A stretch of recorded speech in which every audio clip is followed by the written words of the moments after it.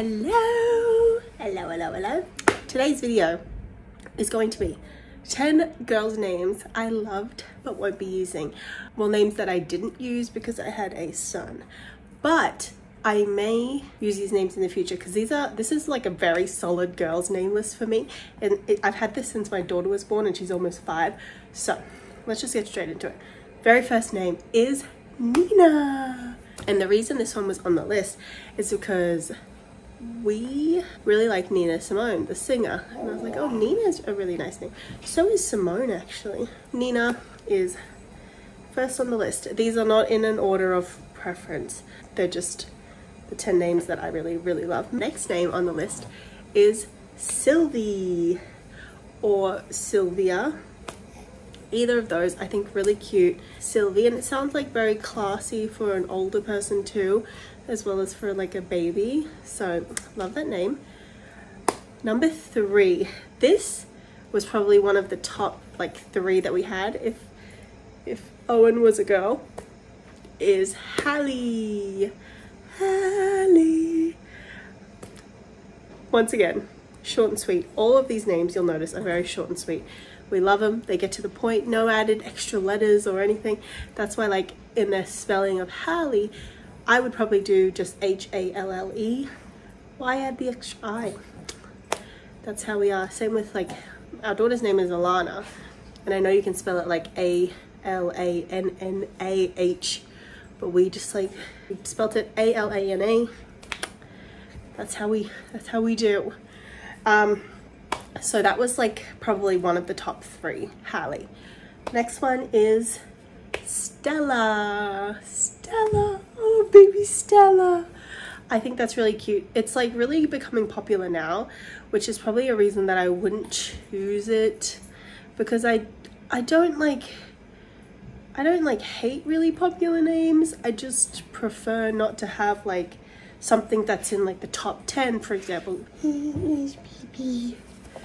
Okay, let's continue.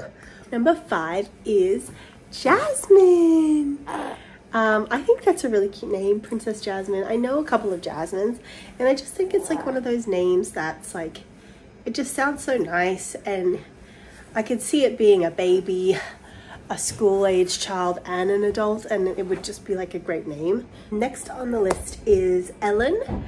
Um, I met a baby at the park, the playground, when I was taking my daughter named Helen. And I was like, Helen for a baby, that's so cute.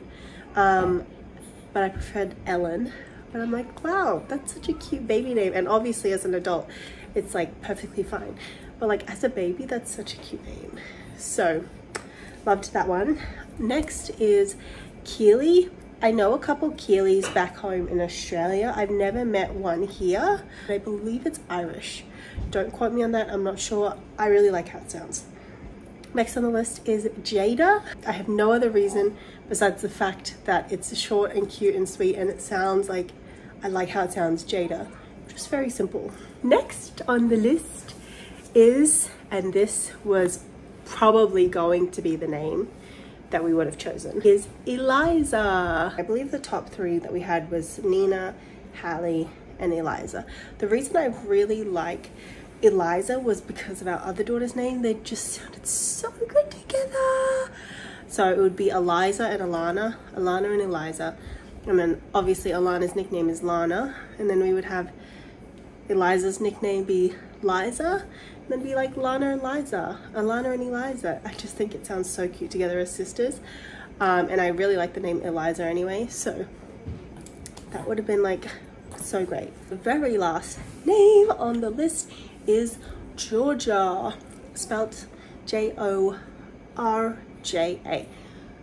Like the singer, I really like the sound of the name Jorja. So that's basically it. I just wanted to make this video real quick um, in case anyone's looking for names thank you so much for watching. I hope this video helps you or i hope you just watch it and enjoy the video. And have a good day. Bye